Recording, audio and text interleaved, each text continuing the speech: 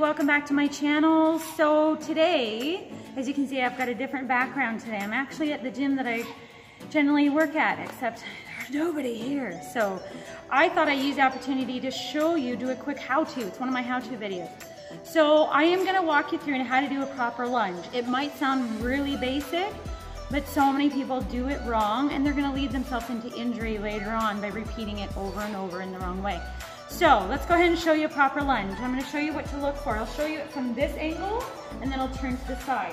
So the first thing is when you do a lunge, I always say the longer the stride, the better. Okay, so when I'm going to step to do a lunge, I'm going long. It depends how long your legs are, so you don't want to do splits or anything. So the other thing you'll notice is my legs are what I call train track.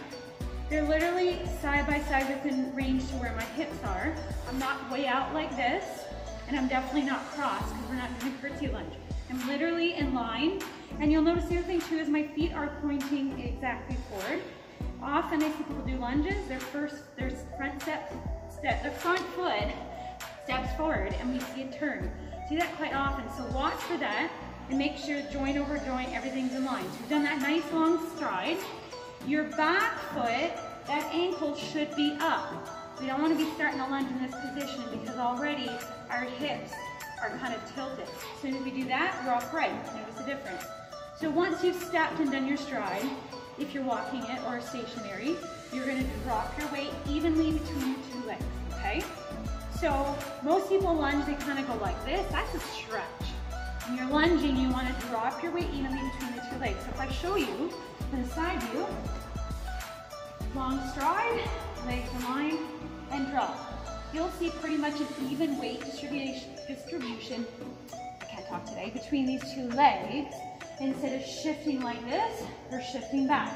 The other thing is, pelvis is neutral, shoulders back, and I'm not leaning into this. So you've got to be standing up straight for this, okay?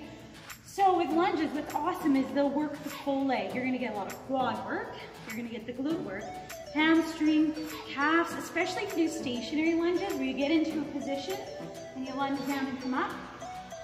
You add resistance to that, eventually that calf is gonna start to burn.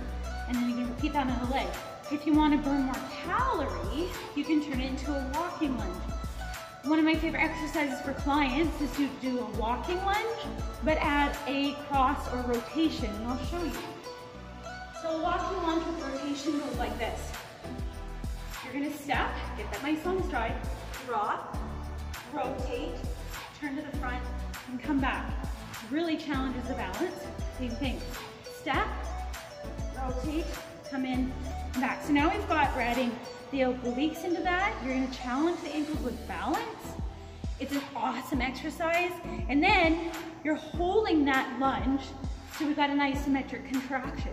So you're working, moving, holding, turning, awesome, awesome workouts. And we've gone to moving forward, sagittal plane, transverse, which is kind of turning and twisting. It's kind of working more than one plane. It's a nice way to do those lunges. So I hope that was helpful and I hope that you kind of look at that next time you're doing lunges to make some of those corrections so that you don't hurt yourself and you can enjoy them again.